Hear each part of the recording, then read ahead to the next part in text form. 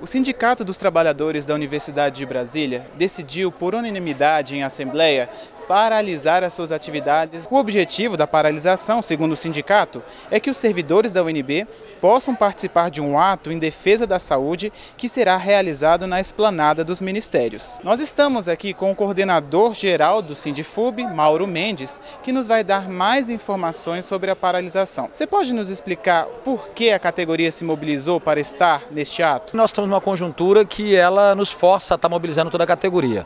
Na verdade, esse calendário do dia 6 é um calendário nacional, não é um calendário apenas é, da entidade local Sinchub. É um, um calendário que foi aprovado junto a, a, ao Fórum Nacional de Servidores Públicos, junto à Frente Brasil Popular em defesa do SUS, em defesa à educação, a democracia e contra os ataques que está aí colocado para nós desafio nesse governo que está aí hoje. Como a Universidade de Brasília e o sindicato é um sindicato de luta que organiza os trabalhadores e está envolvido nesse contexto atual, da atual conjuntura, nós não poderemos deixar os servidores entrar de férias nesse momento sem estar tá colocando para ele o desafio que nós temos e o calendário pela nossa entidade. Então o dia 6 ficou tirado como Dia Nacional de Luta em defesa de toda essa pauta que nós colocamos. Nós aprovamos na Assembleia a paralisação de forma unânime, inclusive, com a participação no ato de amanhã. Mas retornaremos aí nas atividades aí na próxima quinta-feira.